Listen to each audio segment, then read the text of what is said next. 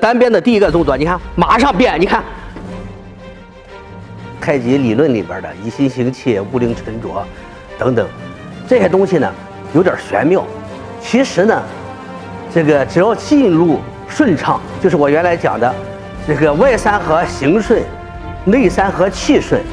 就能做到以心行气了。如果对方一抓你，咱第一个动作，单边的第一个动作，你看马上变，你看这是反关节。所以说一二，所以说第一下你看就造成他的你看反关节，所以说这一下开不了，你看这一下又过来了，这个地方两个反关节，所以说有的时候不一定第一个动作能打人，你看一二，你看两个反关节，这个出去都是都是这个这个造成对方的腕部受伤，所以说这些动作他就摁不住，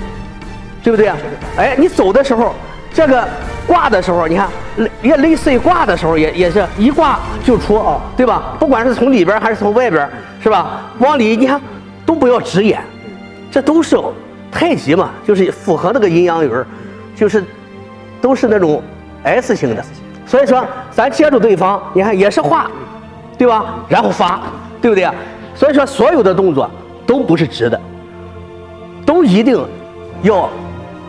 给他一个 S 型的进入。对方直劲儿，我给他化开。加微信唐恒国拼音，学习唐恒国老师课程。当对方记住我，记住我，如果你看我平肘，这个肘起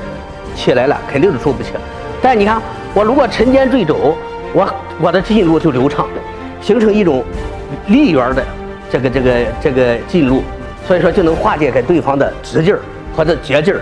所以说以心行气，大家一定要做到这个。动作饱满，就是咱平时一直讲，这个捧劲儿始终在身上，每一个动作一定要把捧劲儿在在身上，一定把动作做圆活了，然后你就符合以心行气这个太极拳的要求。为了告诉大家什么是内家内家拳的功法啊，